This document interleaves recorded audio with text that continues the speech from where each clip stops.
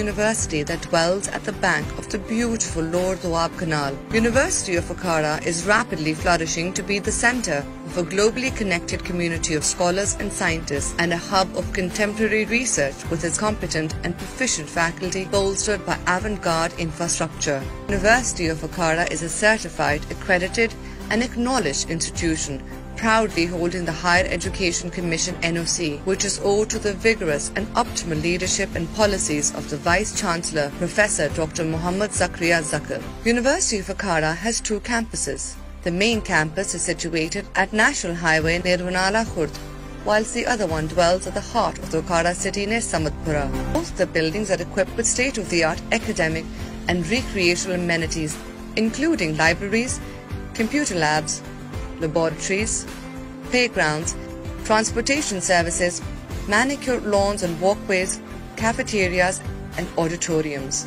The teaching staff of this school hails from Pakistan's best institutions, along with possessing international exposure and vast professional experience. This university has a culture of tolerance, pluralism and non-discriminatory environment. University of Okara takes great care of its students' physical fitness and recreational activity alongside their mental grooming.